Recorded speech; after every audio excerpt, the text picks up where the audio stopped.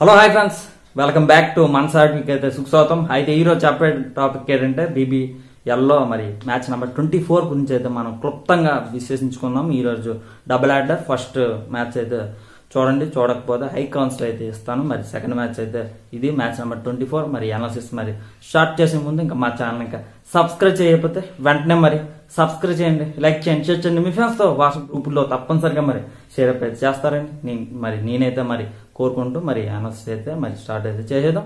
సిగ్నే sixes versus బిట్స్ పని heat గురించి అయితే మనం క్లుప్తంగా మనం విశ్లేషించుకుందాము. విశ్లేషించుకున్న ముందు మరి వీళ్ళిద్దరికి కూడా హెడ్ టు హెడ్ మనం అయితే పరిశీలించుకుంటే వీళ్ళిద్దరికి కూడా చాలా కీలకమైన మ్యాచ్ కానీ మనం చెప్పొచ్చు సిగ్నే సిక్సెస్ కంటే మరి బిస్బన్ హీట్కి అయితే చాలా చాలా కీలకం. మరి ఒక మ్యాచ్ అనేది గెలిచింది. మరి ముఖ్యంగా మనం అయితే చెప్పుకోవాలంటే ఇక్కడ హెడ్ టు హెడ్ మనం అయితే పరిశీలించుకుంటాం పన్నెండు మ్యాచ్లు మరి జరిగితే బిస్బన్ హీట్ రెండు మ్యాచ్లు అనేది గెలవడం జరిగింది. సిగ్నీ సిక్సెస్ పది మ్యాచ్లు అనేది ఎరడం కూడా జరిగింది.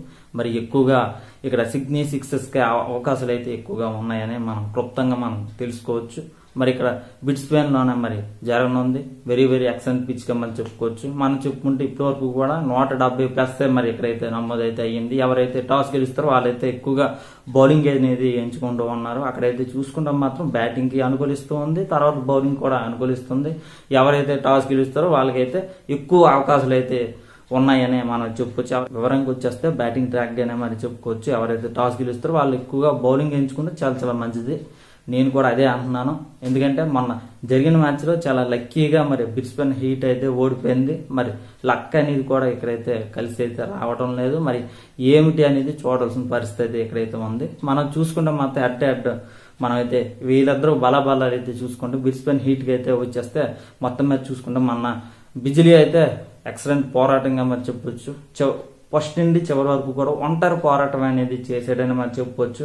తర్వాత వస్తున్న బ్యాట్స్మెన్ నుండి ఎటువంటి సపోర్ట్ కూడా లేకుండా మరి ఎక్సలెంట్గా ఒంటరి పోరాటం చేసి మరి పోరాడి ఓడిపోయింది అని- అని కూడా మనం చెప్పుకోవచ్చు. మరి బ్యాటింగ్లో గానీ బౌలింగ్లో గానీ కొంచెం పర్వాలేదురా అని అనిపిస్తున్నారు కానీ అది బ్యాటింగ్లో ఫిఫ్టీ ఫిఫ్టీగానే మరి ఉన్నాయని మనం అయితే చెప్పుకోవచ్చు.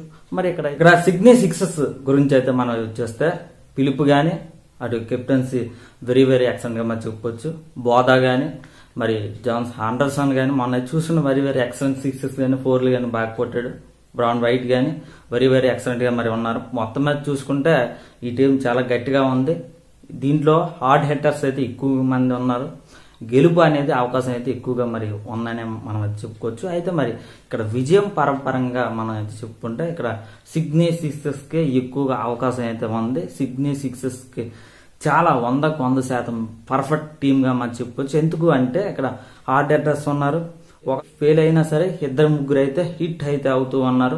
మరి వంద స్కోర్ అయితే చేస్తూ ఉన్నారు. దగ్గర దగ్గర చేస్తూ ఉన్నారు. ఫిలిప్స్ అయితే మొన్న హైయెస్ట్గా తొంభై ఐదు స్కోర్ అనేది కొట్టాడు. మన మరి ఓటమి దిశగా వెళ్ళే టైంలో మాత్రం జేమ్స్ హాండర్సన్ మాత్రం వెస్టిండీస్ ప్లేయర్ మంచి హార్డ్ సిక్సెస్ హార్డ్ ఫోర్స్ తన లేటెస్ట్ మరి షార్ట్స్ కూడా కొట్టాడని మనం చెప్పుకోవచ్చు. మంచి స్కోర్ అనేది సాధించాడని మనం చెప్పుకోవచ్చు.